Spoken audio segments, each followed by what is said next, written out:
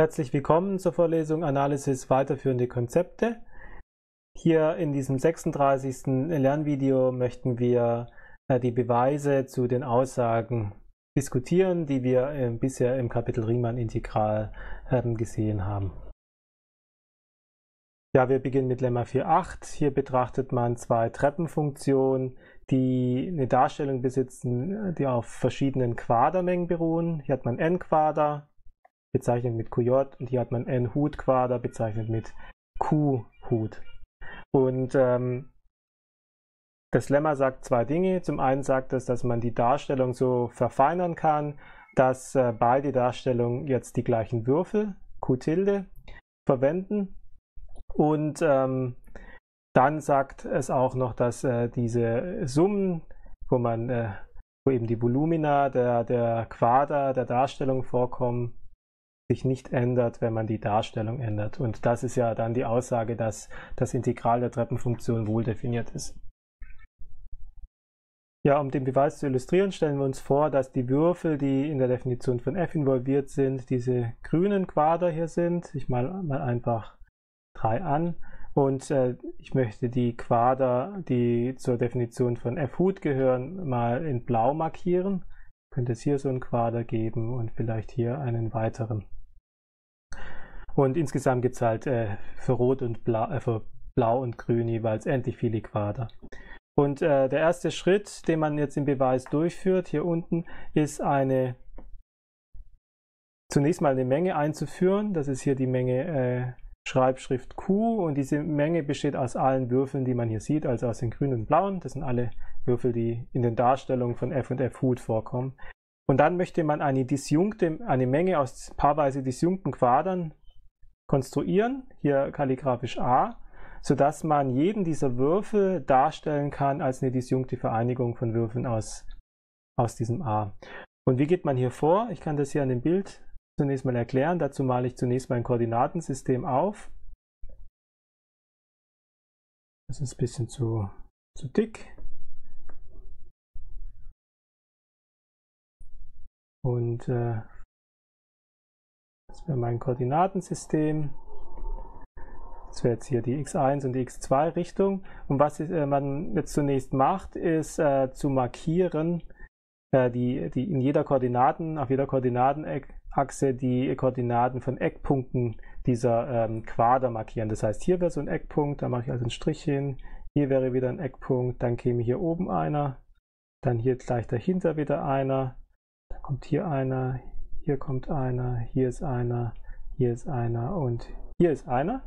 Das wäre also auf der x1-Achse und auf der x2-Achse geht man genauso vor. Da wäre hier ein Strich und vielleicht ein bisschen drunter sogar nochmal einer.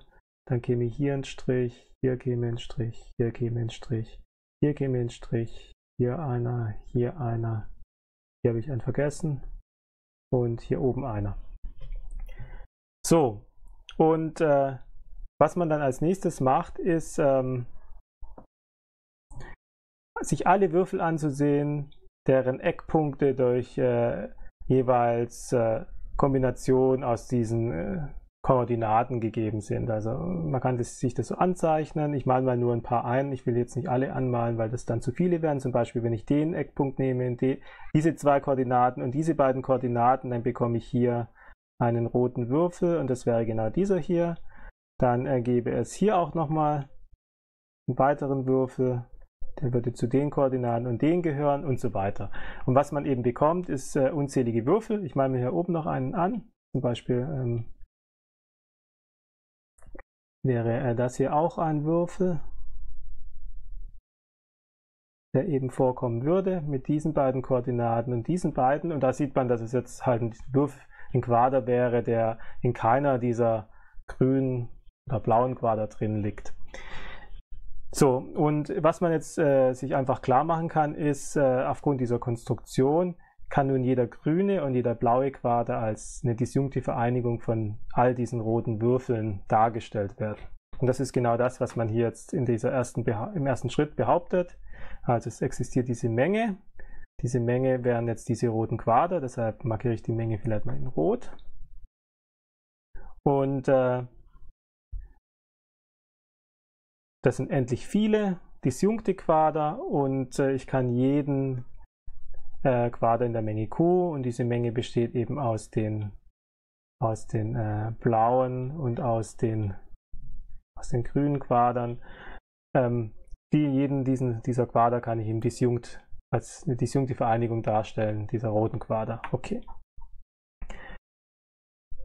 So, und äh, wie macht man das? Wie schreibt man das auf? Nun, das, was man da oben am Bild angezeichnet hat, kann man wie folgt äh, ähm, jetzt äh, formal aufschreiben. Man führt äh, diese Striche, also diese Striche, die ich auf die Koordinaten eingezeichnet habe, sind durch diese Tau i1 bis Tau im wiedergegeben. Das sind die reellen Zahlen. Hier steht i für die Koordinatenrichtung und 1 bis m äh, zählt, äh, die, die Indizes zählen eben geordnet sozusagen diese Position der Striche durch. Und äh, man kann das dann sich so aufschreiben. Man definiert erstmal die Menge aller Striche, die vorkommen. Das sind die Infima bzw. Suprema der ähm, Iten-Koordinaten der Punkte, die in einem Würfel drin liegen, und zwar von allen Würfeln, die wir betrachten müssen. Das ist erstmal eine Menge. Und die Menge, äh, die ordne ich dann an. Die Menge könnte theoretisch auch, äh, auch aus nur äh, zwei ähm, Zahlen bestehen, aber ich äh, ähm, ordne die trotzdem so an, möglicherweise mit einer Mehrfachnennung von Position, dass ich m ähm, Zahlen bekomme und m ist eben zweimal n plus n Strich. Und äh, zweimal n plus n Strich, das ist eben zweimal die Gesamtzahl aller Würfel, die in Q potenziell vorkommen können. Was nun nach Konstruktion klar ist, ist folgendes. Wenn ich mir einen Würfel aus meiner Q-Menge rausnehme, das war also ein blauer oder ein grüner Würfel, dann kann ich immer ähm, Elemente dieser Mengen finden für jede Koordinatenrichtung. Und das heißt, ich kann Indizes finden, Ji und J', sodass äh, dieses kartesische Produkt dann genau diesen Würfel, äh, diesen Quader ergibt. Ja, das ist offensichtlich. Und man kann jetzt äh, diese, äh, diese einzelnen Intervalle hier äh, wieder schreiben als äh, disjunkte Vereinigung von hintereinander folgenden ähm, ähm, ja, ähm, Positionen in diesen Mengen und äh, erhält dann ähm, entsprechend kleinere Quader, die alle disjunkt sind. Und äh, in dieser Menge A betrachten wir eben alle Quader, die man auf diese Weise konstruieren kann. Das heißt, ich will mir einfach äh, hier aus dieser Liste für jede Koordinatenrichtung ein, ein Paar raus, äh, und zwar zwei Nachbarn raus, also ein, ein Tau I1, ein Tau I2 beispielsweise. Und äh, das mache ich für jede Koordinatenrichtung und die entsprechenden halboffenen Intervalle, von denen nehme ich das kartesische Produkt und erhalte auf diese Art und Weise einen dieser roten Würfel, die wir oben bereits eingezeichnet haben. Und mit diesen kann man jetzt äh, natürlich diese Mengen hier alle dis als disjunktive Vereinigung darstellen und damit auch jeden Quader aus unserer ähm, Menge Q. Und damit ist dieser erste Schritt äh, in dem Beweis dann gezeigt. Ja, in dem zweiten Schritt geht es jetzt darum zu zeigen, dass man äh, die Darstellung von f, ich gehe mal hier nach oben, diese Darstellung so um, äh, diese hier so umschreiben kann, dass äh, nur noch ähm, die Quader ähm, aus unserer konstruierten Menge A vorkommen. Und man eben so eine Darstellung dann ge gewinnt, wo man nur die Indikatorfunktion hat über die Quader aus dieser roten Menge, aus dem roten Mengensystem und äh, die Koeffizienten werden halt mit Gamma L bezeichnet. Das möchten wir zeigen. Wir führen das äh, äh, für f durch und mit dem gleichen Argument kann man das dann für f Hut durchführen. Okay, gehen wir wieder nach unten. Wie geht man hier vor? Zunächst mal wählt man sich, indem man den Index j festlegt, einen Quader aus äh, der Darstellung von f heraus. Der Quader ist grün also unser QJ.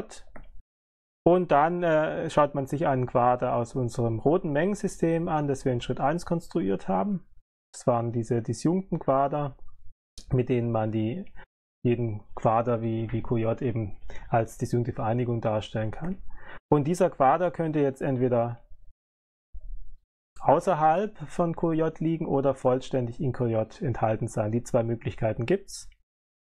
Und was nicht gehen kann, ist, dass äh, unser ähm, L, also der Quader aus der konstruierten Menge eben äh, QJ zu nicht trivial schneidet. Und das liegt an der Konstruktion, denn wir haben die so konstruiert, dass diese ähm, dass diese Quader eben alle disjunkt sind und äh, dass die Eckpunkte, die, die Koordinaten der Eckpunkte eben äh, nächste Nachbarn sind in, in, dieser, in dieser Konstruktion. Das heißt, äh, es könnte höchstens so eine Situation vorkommen, aber nicht so ein nicht trivialer Schnitt. Da muss man einfach nochmal sich die Definition der Quader nochmal genau ansehen, dann sieht man das. Okay, also die zwei Möglichkeiten gibt es für unseren Quader der hier ähm, mit Q tilde L bezeichnet ist.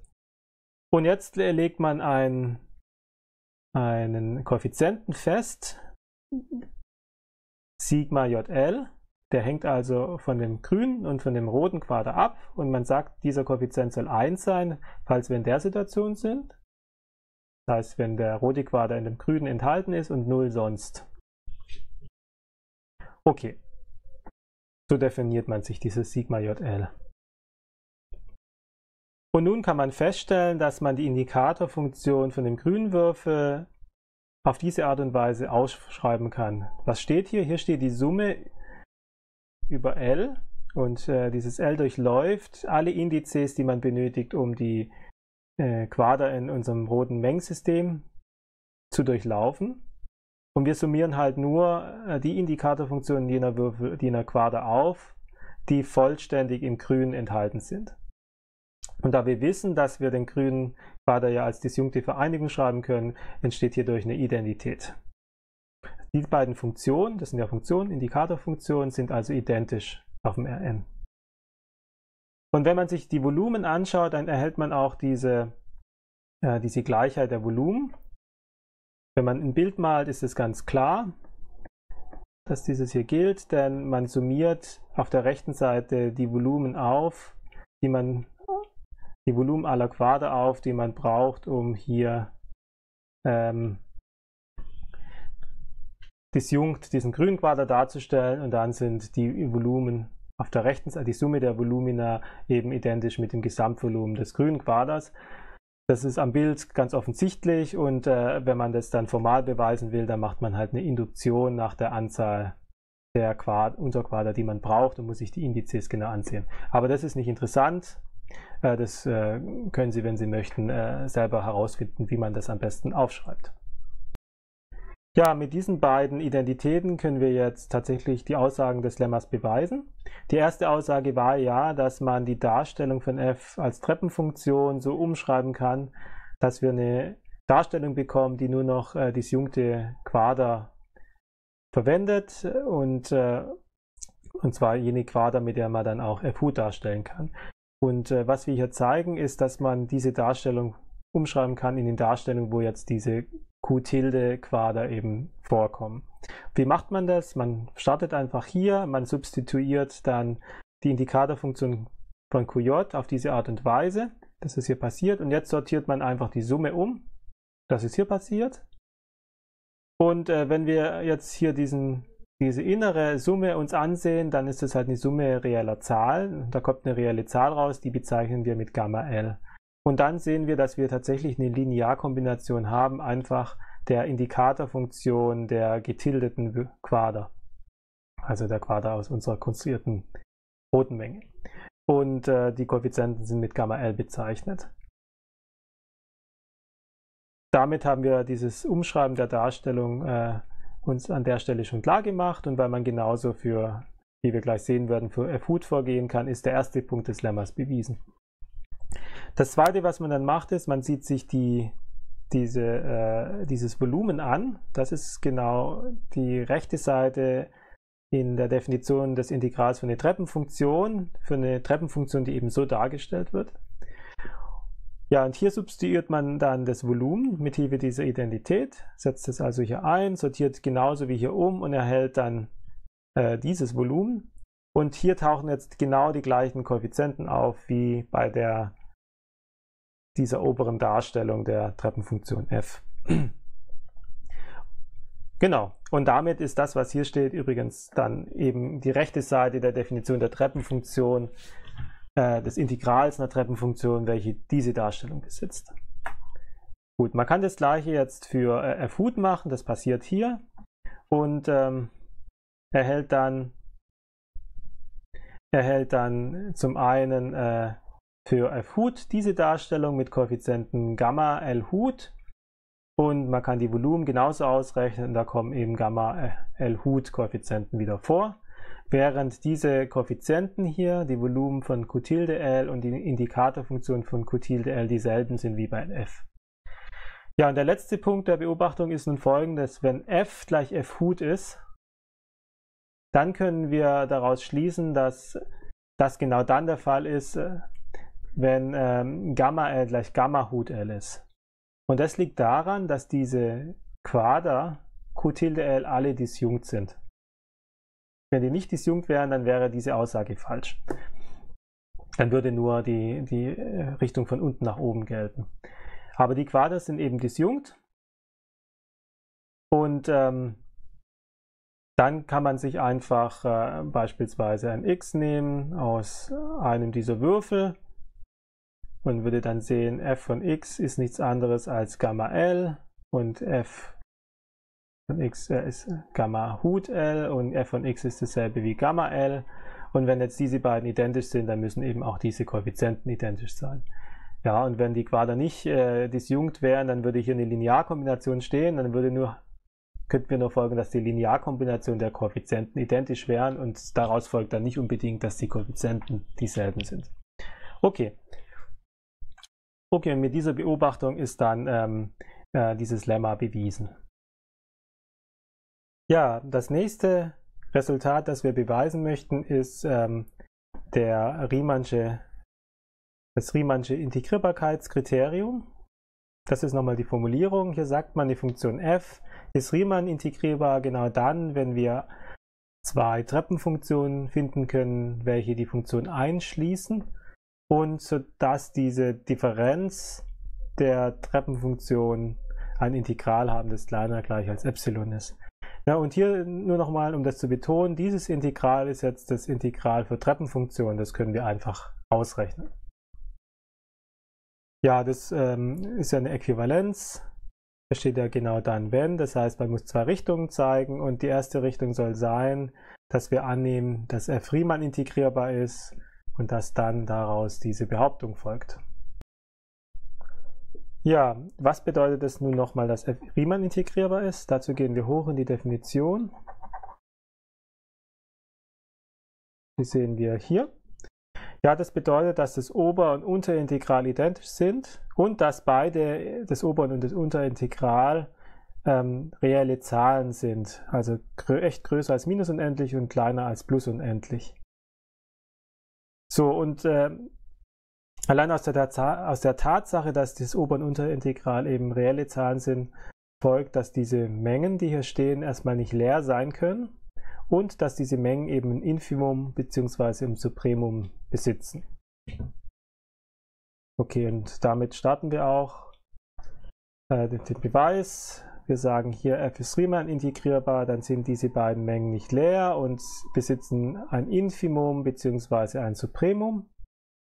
Und wenn wir jetzt die Definition dieser Extrema äh, verwenden, heißt es, wenn wir ein Epsilon suchen, dann finden wir eben Elemente hier drin und hier drin, sodass äh, in diesem Fall das Integral über die Funktion g oben quer kleiner ist als das äh, ähm, Infimum dieser Menge, wenn wir es zumindest um Epsilon halbe vergrößern. Das ist einfach die Definition des Infimums und genauso können wir beim Supremum vorgehen. Wir finden dann in g unten quer eine Treppenfunktion, das dann kleiner ist als das Infimum, wenn wir ähm, dieses äh, ja, hier ist ein Fehler, sehe ich gerade. Das soll natürlich hier das Supremum sein. Wenn wir dieses äh, Supremum ähm, vergrößern, äh, verkleinern um ein Epsilon halbe. Na, immer wenn man ein Supremum verkleinert, kann man äh, eben ähm, eine ein Element finden, welches noch größer ist, sonst wäre es kein Supremum. Okay, jetzt folgt aus der Riemann-Integrierbarkeit aber auch noch, dass diese Supremum und das Infimum identisch sind. Ja, und das heißt einfach, wenn wir jetzt uns diese Differenz von g oben quer und g unten quer ansehen, dass dann, wenn wir dieses S Stern, unten Stern, oben Stern abziehen und dazu addieren, dann haben wir hier eine Null addiert, dass dann aufgrund dieser beiden Abschätzungen gerade diese Differenz durch, äh, durch Epsilon abgeschätzt werden kann. Ja, und damit ist äh, diese erste Implikation gezeigt. Für die zweite Implikation wählen wir uns also hier ein Epsilon und nach der Annahme existieren Treppenfunktionen, deren Integraldifferenz kleiner als Epsilon ist und die eben unser f umschließen. Und nun äh, gilt folgendes.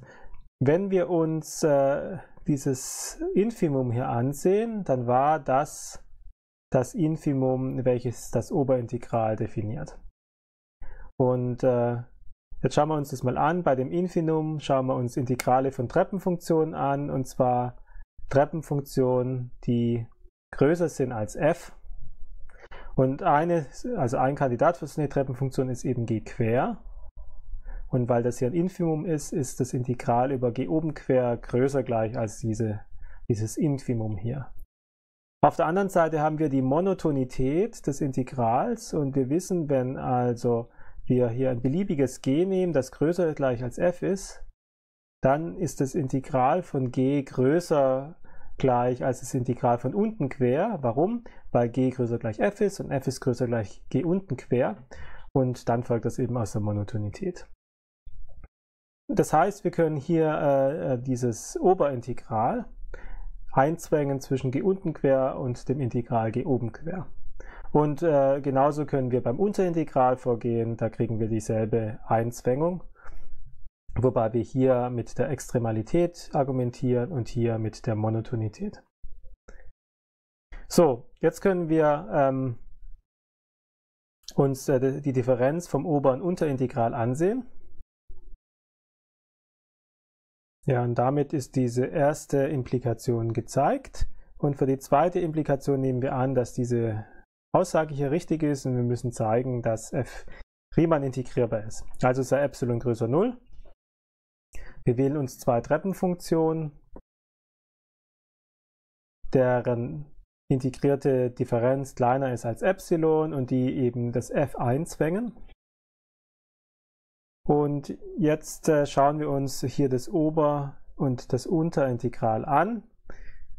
Vielleicht schreibe ich das dazu, dass das hier tatsächlich das Oberintegral ist von f. Und äh, wenn wir hier hinschauen, dann ist es zunächst mal ein Infimum. Wir nehmen also das kleinste Integral, wobei die g's hier alle größer sein sollen als f. Nun ist g quer ja so ein Kandidat. g quer ist äh, größer als f und das heißt, äh, weil das hier ein Infimum ist, ist also das Integral dieser Treppenfunktion schon mal größer als das Oberintegral. Und andererseits ist es so, dass g größer als gleich f ist, für alle g's, die man hier drin berücksichtigt. Und äh, g unten quer ist aber auch äh, kleiner gleich f, das heißt, alle g's, die man hier berücksichtigt, sind auf alle Fälle mal größer gleich als g unten quer. Und jetzt ist das äh, Integral ja monoton und das bedeutet, dass das Integral über g unten quer kleiner ist als diese Integrale, über die man infimiert. Und damit ist auch das Infimum eben äh, größer gleich als das, was hier zu sehen ist. Und so erhalten wir eben diese Einzwängung des Oberintegrals zwischen, des, zwischen äh, die Integrale von g unten quer und g oben quer. Und äh, beim Unterintegral geht man genauso vor. Jetzt hat man also diese zwei äh, Sandwich-Abschätzungen für die Ober- und Unterintegrale. Wir können jetzt die Differenz dieser Abschätzung bilden. Das passiert hier.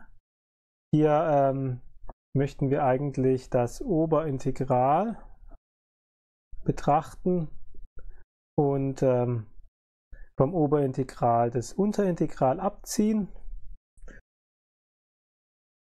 Und wir müssten ja zeigen, dass äh, wir möchten zeigen, dass äh, die beiden Integrale eben ähm, identisch sind. Das heißt, das sollte nach unten und nach oben durch die Null abgeschätzt werden können. Okay, jetzt fangen wir aber erstmal damit an.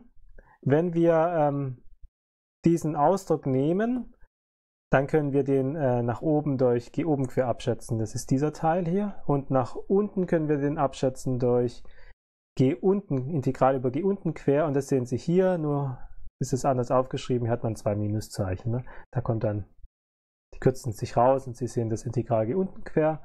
Und äh, Sie können Minus unter Integral nach oben abschätzen durch Minus äh, Integral über g unten quer und nach unten abschätzen durch Minus äh, Integral g oben quer. So, und dann kriegen Sie eben diese Abschätzung und da sehen Sie jetzt, äh, zweimal eben äh, die integrierte Differenz von g oben quer und g unten quer und nach Voraussetzung ist diese Differenz eben kleiner gleich Epsilon. Die ist immer positiv übrigens, weil ja g oben quer größer als g unten quer ist. Also können Sie das nach oben durch Epsilon abschätzen und minus diese Differenz nach unten durch minus Epsilon abschätzen. Und jetzt war es ja so, dass äh, das Epsilon beliebig war. beliebig äh, klein gewählt werden kann und dann folgt eben, dass das Integral, Oberintegral und Unterintegral von f identisch sind und damit ist der Beweis zu Ende. Okay, kommen wir zum Beweis von Lemma 417. Hier haben wir zwei Funktionen. Für beliebige Funktionen ist das Oberintegral definiert. Und äh, im ersten Punkt wollen wir sagen, dass für positive skalare Lambda oder nicht negative skalare Lambda wir diese Identität haben. Das heißt, äh, dort haben wir diese positive Linearität äh, von, vom Oberintegral. Okay, schauen wir uns den Beweis erstmal an. Ja, für den Beweis dieser Aussage wollen wir uns daran erinnern, dass ja ähm, das Oberintegral definiert war als das Infimum aller Integrale von Treppenfunktionen, die größer waren als f. Und der Beweis wird auch so funktionieren, dass wir eben äh, die Aussagen für die Treppenfunktion beweisen. Dort ist es einfach, weil das einfach die Linearität des Integrals ist für Treppenfunktionen und dann eben zum Infimum übergehen. Okay, aber da das äh, jetzt ja ein Infimum ist, kriegen wir auf diese Art und Weise immer nur eine, ähm, eine Abschätzung nach oben. Und äh, deshalb äh, muss man hier ein bisschen mehr argumentieren noch. Zunächst stellt man fest, dass für äh, Lambda gleich 0 nichts zu zeigen ist, weil dann bei der behaupteten Identität links und rechts einfach 0 steht. Deshalb dürfen wir annehmen, dass Lambda größer 0 ist und wir wählen jetzt eine Treppenfunktion, die größer als f ist. Und dann folgt, äh, da ja Lambda positiv ist, dass dann auch Lambda g größer gleich als Lambda f ist. Das würde schon schief gehen, wenn wir Lambda durch eine negative Zahl ersetzen. Okay. Weil das aber so ist, äh, wissen wir schon mal, dass äh, das Oberintegral über Lambda f kleiner gleich sein muss als das Integral über Lambda g. Und das ist ein Treppenfunktion Integral. Und hier hat man einfach benutzt, dass das ja ein Infimum ist von solchen Ausdrücken hier. Und bei der, bei der Integral für Treppenfunktion wissen wir bereits, dass dieses ein linearer Ausdruck ist. Das heißt, wir können dort das Lambda rausziehen und haben dann ähm, von links nach rechts gelesen diese, äh, diese Abschätzung nach oben. Und die gilt für alle Treppenfunktionen, die größer gleich f sind. Und wir können jetzt einfach zum Infimum über alle diese Treppenfunktionen übergehen und erhalten dann diese Abschätzung. Und wir möchten jetzt auch noch die umgekehrte Abschätzung beweisen. Und dazu ähm, verwendet man das gleiche Argument, aber man wendet es auf diese Funktion f tilde an. f tilde ist die Funktion lambda mal f. Und ähm, wenn wir das so tun, dann können wir das Oberintegral von f ansehen. Wir können dann f aufschreiben als 1 durch lambda mal f tilde. Und jetzt kann man wie, äh, wie hier argumentieren, dass äh, man das 1 durch Lambda rausziehen kann und dafür eine Abschätzung nach oben bekommt durch das Oberintegral. Ja, und wenn man sich das jetzt anschaut, dann kann ich diese Abschätzung mit Lambda multiplizieren und erhalte genau diese Abschätzung, aber mit dem umgekehrten ähm, Vergleichszeichen hier. Und dann weil wir dann beide äh, Abschätzungen nach oben, nach unten haben, folgt dann die Identität und das war dann der Beweis der ersten Aussage A. Okay, jetzt wollen wir den Teil B beweisen des Lemmas. Das ist diese Aussage hier. Und hier steht im Wesentlichen, dass äh, das äh, Oberintegral subadditiv ist. Das heißt, die Summe, das Oberintegral über eine Summe ist kleiner gleich die Summe der Oberintegrale. Okay, wie sieht man das? Die Strategie ist ähnlich. Man wählt sich nun zwei Treppenfunktionen, die f und f tilde von oben abschätzen. Damit äh, schätzt g plus g tilde auch f plus f tilde von oben ab. Und, auf der, äh, und aufgrund der Definition als Infimum des Oberintegrals erhalten wir diese Abschätzung nach oben durch das Integral dieser Treppenfunktion, die hier steht. Und für Treppenfunktionen ist das Integral linear und das heißt, wir bekommen diese Identität. Und jetzt können wir hier zu, zum Infimum über g und dann zum Infimum über g tilde übergehen und dann steht eben, ähm, dann steht hier die Behauptung. Und hier nimmt man natürlich das Infimum über alle Treppenfunktionen. Ja, und beim letzten Punkt der Aussage die darin besteht, dass man äh, hier das Minus 1 aus dem Oberintegral rausziehen kann, aber dann ein Unterintegral bekommt, kann man genauso argumentieren, indem man benutzt, dass wenn wir eine Treppenfunktion haben, die größer gleich f ist, und für die haben wir dann äh, die Aussagen fürs Oberintegral ähm, schon durchgeführt, dann äh, folgt daraus eben, dass äh, minus f größer gleich ist als minus g und wir können dann genauso argumentieren wie, äh, wie getan, nur ähm, werden wir dann eben anstatt zum äh, Infimum überzugehen, halt zum äh, Supremum übergehen und erhalten auf dieser Weise auf der rechten Seite dann das äh, Unterintegral. Ja, wir kommen jetzt zum Beweis ähm, von Proposition 418. Die, diese Proposition ist äh, die vielleicht das wichtigste Resultat in diesem Kapitel zu den Riemann integrierbaren Funktionen bzw. zu den Grundlagen der Riemann integrierbaren Funktionen. Und hier zeigen wir eben, dass sich die Eigenschaften, die wir bei den Regel, bei den, beim Integral für Treppenfunktionen beobachtet haben, das heißt Linearität, Monotonität, Dreiecksungleichung und Fubini, sich auch auf das Riemann-Integral übertragen. Und wir werden äh, ähm, nur die interessanten Teile des Beweises diskutieren. Und wir fangen mit der Linearität mit dem Punkt A hier an.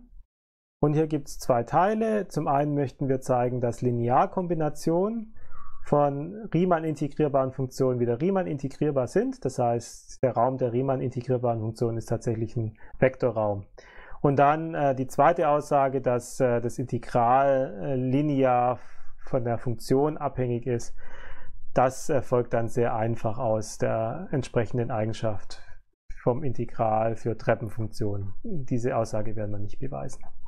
Okay, also was wir zunächst zeigen müssen ist folgendes. Wir wählen uns zwei Funktionen f1, f2, Riemann integrierbar und ein Skalar Lambda.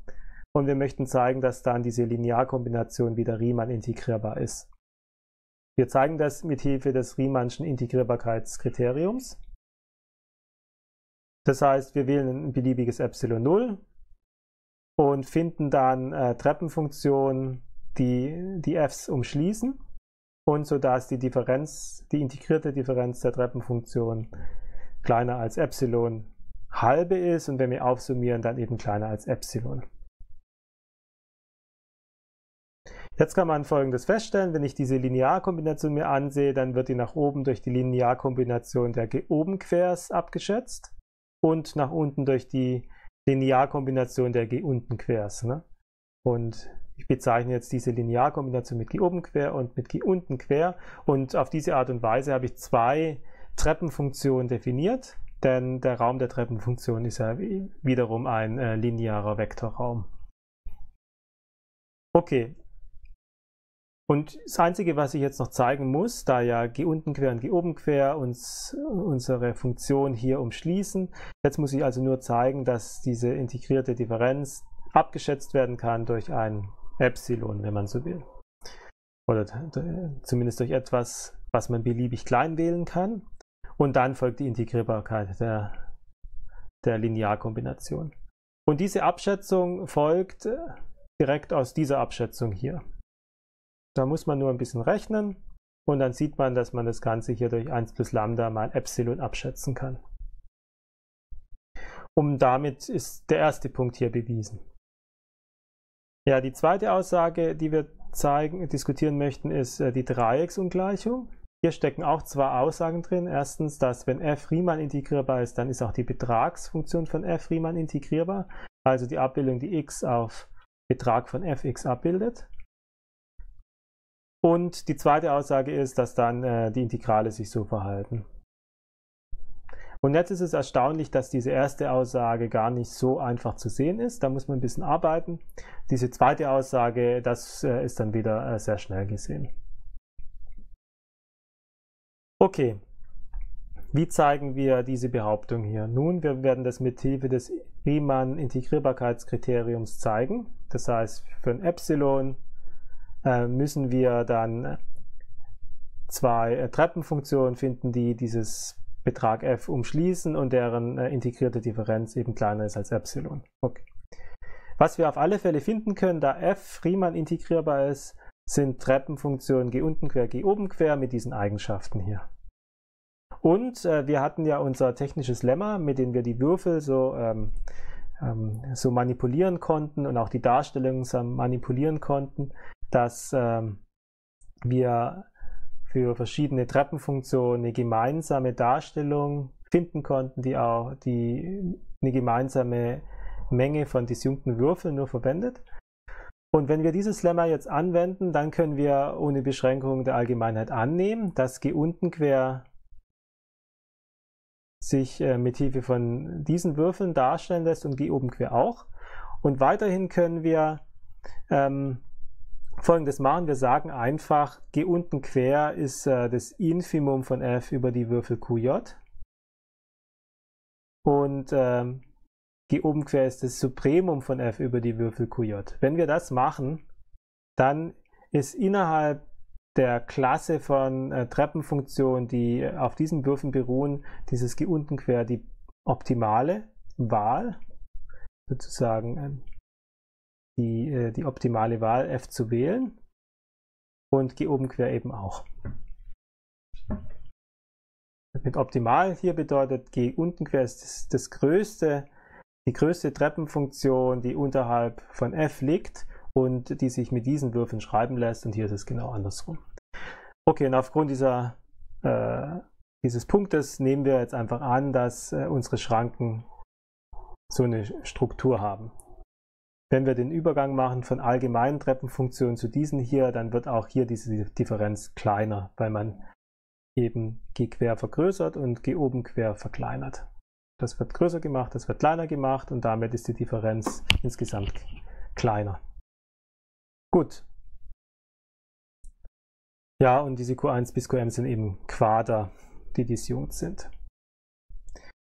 Und jetzt basierend auf äh, diesen Quadern definieren wir uns ein H unten quer und H oben quer nach dem gleichen Schema, nur wir ersetzen f durch den Betrag von f. Was durch diese Definition passiert, das können wir ja nochmal anmalen. Das wäre vielleicht unser f, unser, unser Betrag f. Und wir haben hier unsere Würfel, unsere Quader und dann ist eben ähm, unser H unten quer wäre dann diese Funktion hier. Wir nehmen immer das Infimum.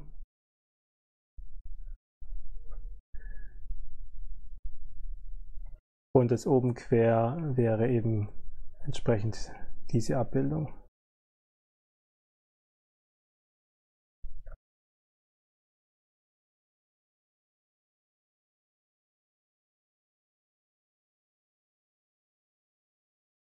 Ungefähr so.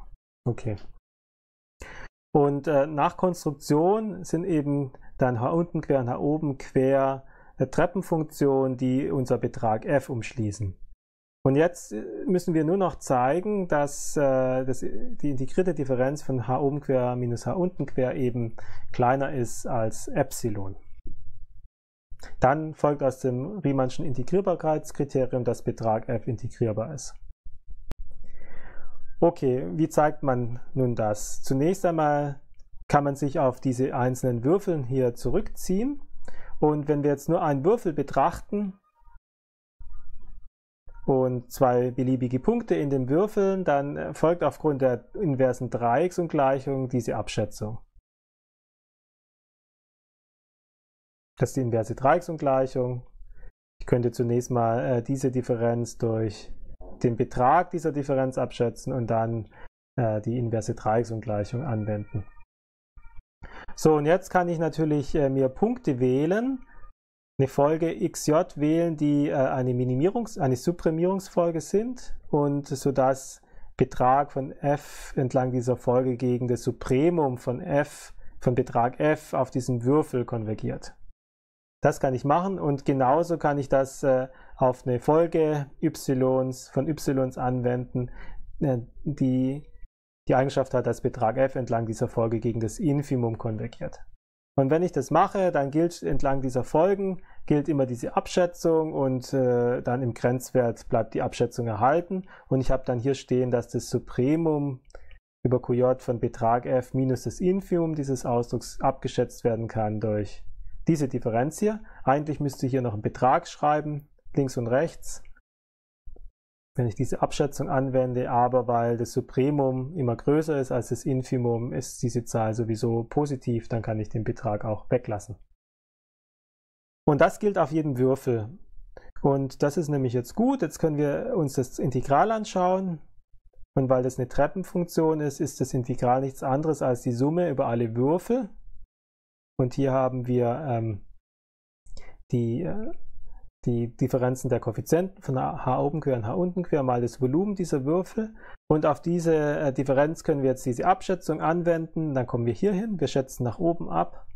Und da wir hier nur positiv oder nicht negative Zahlen haben, schätzt sich die Summe insgesamt auch nach oben ab. Und dann erkennen wir hier auf der rechten Seite ähm, die Differenz von g oben quer und g unten quer auf dem Würfel QJ. Und das heißt, das, was hier steht, ist nicht anderes als das Integral von g oben quer minus g unten quer. Und äh, nach Voraussetzung war das kleiner Epsilon. Und dann haben wir unsere Abschätzung, die wir zeigen wollten, gewonnen. Wir konnten zeigen, dass diese integrierte Differenz kleiner ist als Epsilon und dass diese H's f umschließen, Betrag f umschließen und damit ist Betrag f eine Riemann integrierbare Funktion. Ja, und die ähm, Dreiecksungleichung für das Integral selber folgt nun äh, aus diesen drei Zahlen. Zunächst ähm, folgt aus äh, der Tatsache, dass Betrag f größer gleich f ist, dass auch die Integrale so angeordnet sind. Das war die Monotonität des Integrals. Und andererseits wissen wir, dass Betrag f größer gleich minus f ist. Und daher sind auch diese Integrale so abzuschätzen. Und wenn man das zusammennimmt, dann folgt gerade, dass der Betrag des Integrals kleiner gleich ist als das Integral des Betrages von f. Ja, das letzte, was wir hier aus der Proposition beweisen wollen, ist der Fubini. Dort wird man, äh, beim Fubini integriert man einige Freiheitsgrade, also einige Variablen aus der Funktion eben schon raus, in dem Fall die letzten n-m Variablen. Man erhält dann eine neue Funktion, die nur noch von m Variablen abhängig ist und die Behauptung ist, dass das Integral über alle Variablen dasselbe ist wie das äh, iterierte Integral, wo man erst n-m Variablen ausintegriert und dann m Variablen. Und eine Besonderheit, eine technische ist, dass man eben beim Ausintegrieren beim ersten Mal ähm, nur das Oberintegral zur Verfügung hat, weil man nicht weiß, ob, äh, weil man nicht weiß, dass die Funktion, die man bekommt, wenn man hier das x' festhält und nur die x2' variiert, dass das tatsächlich eine Riemann integrierbare Funktion ist. Deshalb verwendet man das Oberintegral, das immer definiert ist. Okay, schauen wir uns den Beweis an. Er steht hier. Beweis benutzt wieder das Riemannsche Integrierbarkeitskriterium. Wir wählen uns Treppenfunktion für f mit diesen Eigenschaften. Dann ähm, können wir uns äh, Treppenfunktion h unten quer und h oben quer definieren, indem wir die n-m Komponenten als x2' raus integrieren. Wir wissen bereits aufgrund des Fobinis für die Treppenfunktion, dass das ja Treppenfunktionen sind. Und äh, aufgrund der Definition des Oberintegrals, das hier steht, hat man hierdurch eine Abschätzung nach unten und eine Abschätzung nach oben für dieses, ähm, dieses Oberintegral. Und dieses Oberintegral ist aber eine Abbildung von x' nach r und das x' lebt im Rm. Was wir jetzt zeigen können, ist, äh, dass wenn wir diese Differenz integrieren, dann kriegen wir gerade aufgrund des Fobinis für Treppenfunktionen äh, die Integrale über Rn von g oben quer minus g unten quer und diese nach Voraussetzung kleiner als Epsilon. Und das heißt, dass wir gezeigt haben, dass diese Funktion hier nach dem Riemannschen Integrierbarkeitskriterium äh, eine Riemann-Funktion ist. Das ist ein Teil der Behauptung. Und die Identität, die behauptet wurde, folgt dann wieder durch Übergang zum Supremum und äh, Infimum. Und aus dem Fubini für Treppenfunktion.